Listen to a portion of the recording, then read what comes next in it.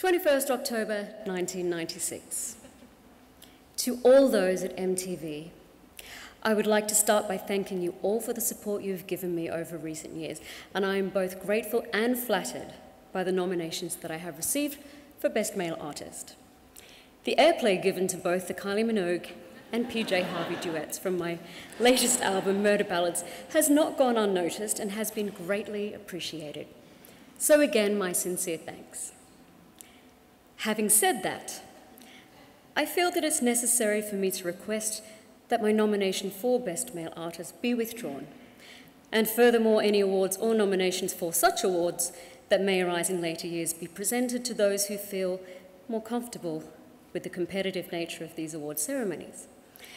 I myself do not. I've always been of the opinion that my music is unique and individual and exists beyond the realms inhabited by those who would reduce things to mere measuring. I am in competition with no one. My relationship with my muse is a delicate one at the best of times, and I feel that it is my duty to protect her from influences that may offend her fragile nature. She comes to me with the gift of song, and in return, I treat her with the respect I feel she deserves. In this case, this means not subjecting her to the indignities of judgment and competition. My muse is not a horse, and I am in no horse race. And if indeed she was, still I would not harness her to this tumbril, this bloody cart of severed heads and glittering prizes.